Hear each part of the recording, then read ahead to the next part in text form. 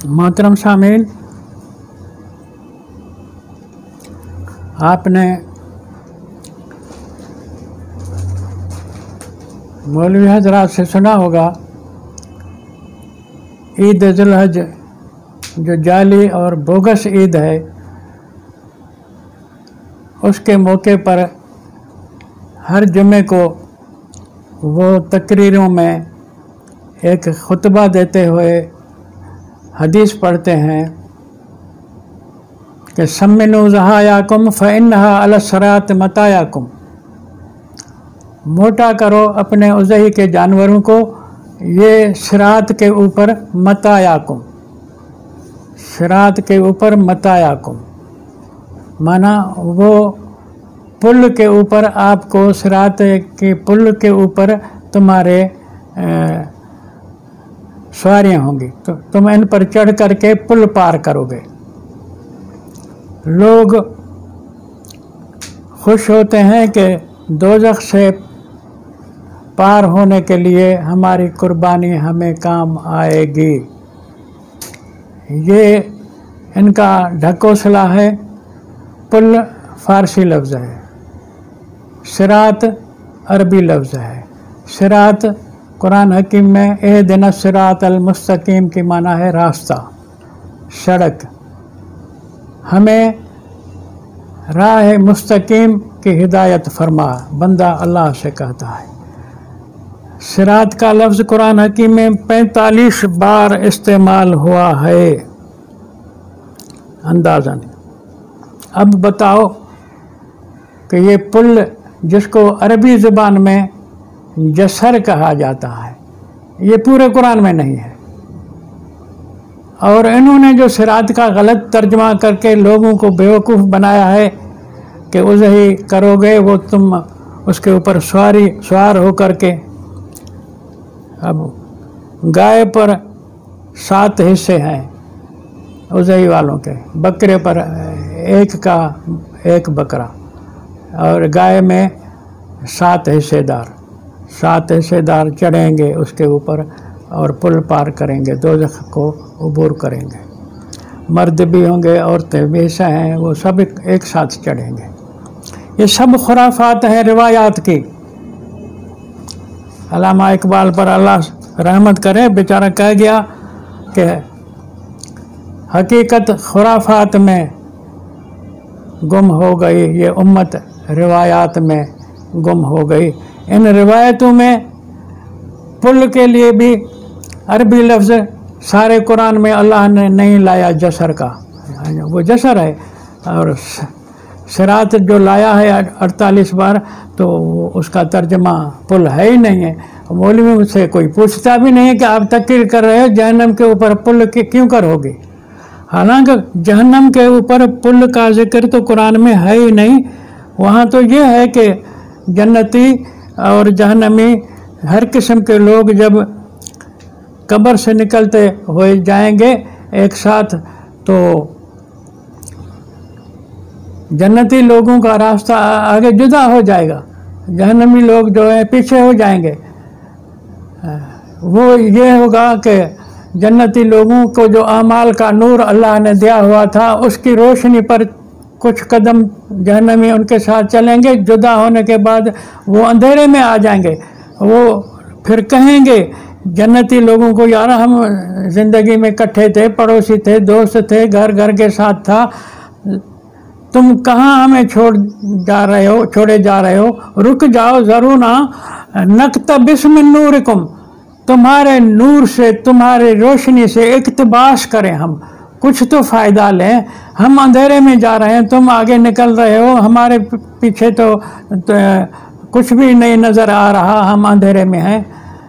तो वो कहेंगे जवाब में फल तम नूरा। ये नूर पीछे तुम छोड़ कर आए ज़िंदगी की हयाती में। दुनिया की हयाती में दुनिया की ज़िंदगी में नूर कमाया जाता है। ये यहाँ का नूर नहीं है, वहाँ का पीछे का नूर है, जो अगर तुमने कमाया होगा तो तुम्हें रोशनी मिलेगी, नहीं कमाया होगा तो अब पीछे जा सकते हो तो पिछली ज़िंदगी में, दुनिया में चले जाओ, वहाँ से नूर मिलेगा। हमारा नूर तुम्हारे काम नहीं आएगा। हमारा नूर हमारे साथ है, वो हमारे अमाल के तुफेल है। तो ये लोग जो उजही के नाम से कहते हैं कि उस पर चढ़ कर जाएँगे। उजही, कहाँ वहाँ तुम्हें काम आएगी? वहाँ जानवर ये होंगे ही नहीं तो चढ़ोगे कैसे? जानवर क़्यामत के दिन ये बकरी नहीं होगी, ये ढोर ढगे नहीं होंगे जो तुम, तुमने अपने लिए सवारियाँ समझ रखी ये हदीसों के कहने पर तुम गुमराह हो गए हो। जो बैल, आज तुमने सुनत इब्राहिम के नाम से ज़बह किया है। इब्राहिम ने तो बेटे को ज़बह करने की बात की थी। तुमने तो बेटे के, को ज़बह करने का कैसा ही नहीं किया। को, ज़बह करो अपने बेटों को। खाम खा इब्राहिम सलाम को तुमने ख्वार किया है। इब्राहिम सलाम जो फरमाता है, या बनैया, इन्नी अराफिल मनाम, अन्नी अजबा का फनजुर माजा। तरा ये ज़बा ये है जो फ़िरौन ने कहा, ये ज़ब अबना हम व ये निशा हम बने इसराइलों के बेटों को ज़बह करता था और और औरतों को छोड़ता था। इसकी माना है, ज़बह करने की माना यह है कि उनको मुशक्क़तों में डालता था। बेटों को मुशक्क़तों में डालता था। कमज़ोरों को छोड़ देता था। कमज़ोर सलामत रहें। और जो ताकतवर हैं बनी इसराइल के, उनको मुशक्क़त मुशक्क़त में डालना। तो इस्माइल को बेट, बाप इब्राहिम ने मुशक्क़त में डालने की बात की थी कि हम तुम दोनों इकट्ठे जज बनेंगे, दुनिया से लड़ेंगे ालमों से टक्कर खाएँगे, ये ज़बा होना है एक किस्म का। तुमने मानाएँ समझी नहीं है। कुरान की मानाओं पर तुमने गौर ही नहीं किया। कुरान की मानाएँ बरह रास्त अकल से ताल्लुक़ रखती हैं और तुमने दीन के लिए अकल ज़रूरी समझा ही नहीं है। तो बहरहाल शरात का लफ्ज़ जो मैंने कहा कि क्या है? शरात राह मुस्तकीम, ए दिन शरातमस्तकीम तुम जो अल्लाह से दुआएँ मांगते हो तो वो शरात राह है सीधी माना कुरान के कहे पर चलना।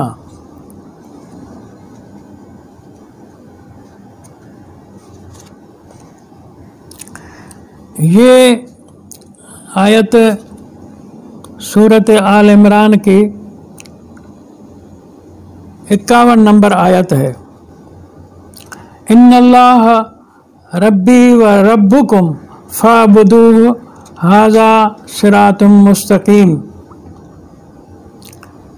यकीन से अल्लाह मेरा भी पालने वाला रब है, तुम्हारा भी पालने वाला रब है। फा फ़ाबुदू, उसका कहा मानो? उसके अब्द बनो। उसकी बंदगी करो। उसके अहकाम की इतात करो। हाजा शरात मुस्तकीम। अल्लाह के अहकाम की इतात करना, ये है शरात मुस्तकीम। ये है सीधा रास्ता। ये पुल नहीं है। शरात मुस्तकीम, अल्लाह की इबादत करना, अल्लाह के कहे पर चलना, अल्लाह के फरामीन पर अमल करना, सिरात मुस्तकीम कुरान ने इसको कहा है। और हम इसकी मानाएँ एक से दूसरी कर रहे हैं। से मैंने कहा, अब अड़तालीस नंबर बार सिरात का लफ्ज़ आया है। कितनी मानाएँ आपको हम पेश करेंगे? ये सूरत अल अनाम की एक सौ छब्बीस नंबर आयत है। इसमें मैं 125 नंबर से पढ़ रहा हूँ। फ़मई युरदिल्ला यह दिया यह दिया यशरा सदर इस्लाम। जिसके लिए अल्लाह इरादा फरमाता है, हिदायत देने का खोलता है सीना उसका इस्लाम के लिए। वमन युरद जिसके लिए चाहता है कानून अल्लाह का उसे गुमराह करने का। यज अल सदर जयकन हरजन का अन्नमा यसमा जिसके लिए अल्लाह का कानून गुमराह करने का इरादा करता है तो उसके लिए हर्ज बना देता है सीने उसके को तंग बना देता है ताकि ऐसे ऐसे तंग हो जाता है जैसे कि चढ़ रहा हो आसमान के ऊपर, बुलंदी के ऊपर, बुलंदी पर चढ़ना बहुत कठिन काम होता है।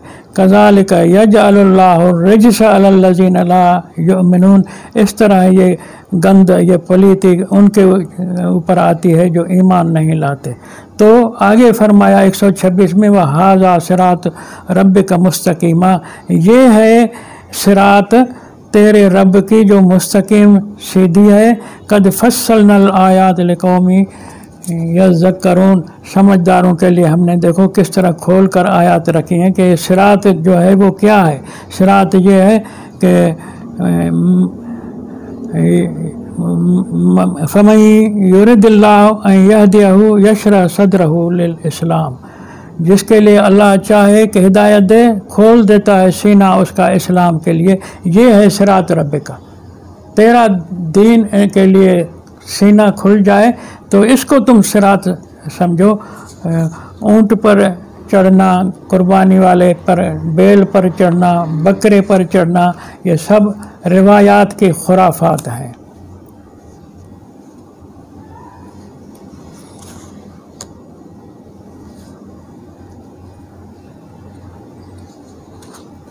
इसी तरह सूरत ज़ुखरफ में भी यही लफ्ज़ अल्लाह तबारक ताली ने फरमाया इन हुआ रब्बी व रब्बकुम फ़ाबुदू, हाजा सरात मुस्तकीम. यकीन से अल्लाह मेरा भी रब है तुम्हारा भी रब है, फ़ाबुदू, फिर उसकी इबादत करो, उसका कहा मानो, उसका कहा मानना हाजा सरात मुस्तकीम। अल्लाह का कहा माना मानना हाजा सरात मुस्तकीम। यही रास्ता है मुस्तकीम, यही सिरात है। अब सिरात की माना के लिए तीन आयतें मैंने आपकी खिदमत में तलावत की हैं जब अड़तालीस आयतें हैं।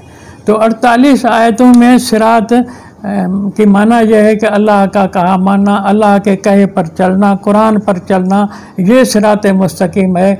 बेल पर चढ़ कर के तुम दोजख को पार नहीं कर सकते, दोजख के ऊपर पुल नहीं है। मैंने आपकी खिदमत में वो आयत तिलावत की कि जो लोग ज़िंदगी क़्यामत के दिन उठेंगे, ज़िंदा होंगे कब्रों से तो वो जन्नती जहनमी जब कट्ठे जाएँगे तो वहाँ जन्नती लोग जब जुदा होंगे तो जहनमी लोग अंधेरों में रह जाएँगे।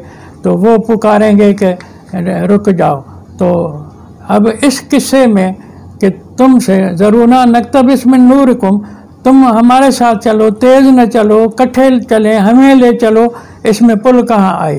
आखरत का मंज़र कुरान ने तुम्हें बताया कि कुरान बताता है कि ज़िंदगी कब्र के ख़त्म होगा जब दौर मरने से बाद जब उठाए जाओगे कब्रों से तो वहाँ एक साथ जाओगे, कोई पुल नहीं होगी, एक एक किस्म का, यानी इलाका होगा वहाँ से, जन्नती जाने में जिस जगह से जुदा होंगे, उस जगह से खाली ये होगा कि जहनमियों के लिए अंधेरा हो जाएगा और जन्नती रोशनी में आगे आगे चलते जाएँगे, उनके लिए अल्लाह से उनके लिए दरवाज़ा भी ऐसा दीवार लगाएगा, उस दरवाजे से जन्नती, जन्नत की तरफ़ जाएँगे जहनमी पीछे रह जाएँगे। तो वहाँ कोई ऐसी पुल नहीं है। इस आयत को, सूरत को, ज़रूना नकतब इसमें नूर को गौर में ला करके फिर सोचो कि पुल के नाम से लोगों ने तुमको जो कुर्बानी के नाम से जानवर ज़बह कराए हैं, कितना तो एक फ्रॉड है, धोखा है खरबों रुपए कुर्बानी उजई के नाम पर, इब्राहिम सन्नत के नाम पर तुम पैसे ज़ाय करते हो। और इब्राहिम ने कभी भी ऐसे नहीं है कि बेटे को ज़बह करने की माँ, छुरी से ज़बह करने की माना में ख्वाब देखा था। वो मुशक्क़त के काम करने का माना ताबीर थी उस ख्वाब की, छुरी से ज़बह करने की ताबीर नहीं थी।